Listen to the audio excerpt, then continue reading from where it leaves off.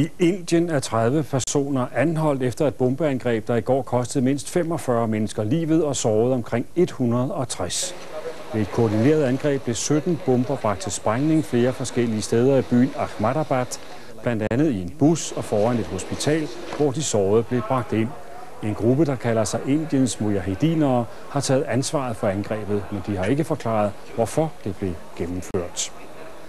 Tidligt i morges i Iran blev 29 iranere hængt i et fængsel nord for hovedstaden Teheran. Den største massehenrettelse i Iran i en årrække.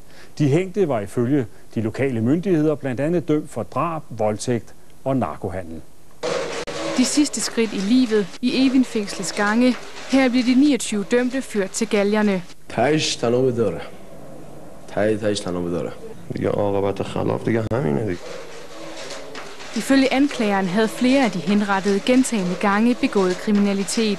سوابق محکومیت متعددی داشتند که پس از اجرای حکم و تحمل محکومیت و آزادی مجددا داخل باندهای مواد مخدر شدند و به جنایتهای خودشون ادامه دادند De iranske myndigheder kæmper mod stigende kriminalitet og siger, at dagens henrettelser er et forsøg på at afskrække andre fra at lave noget kriminelt.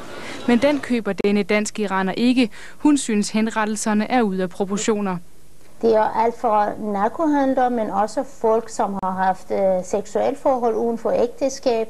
Øh, også folk, som har demonstreret. Og mange af dem er faktisk unge mennesker. Med 155 henrettelser i år overgås det iranske styre kun af Kina i antallet af henrettelser ifølge Amnesty International.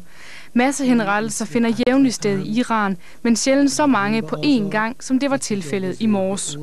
Henrettelserne sker efter den radikale sharia-lovgivning, der blev indført i landet ved revolutionen i 1979.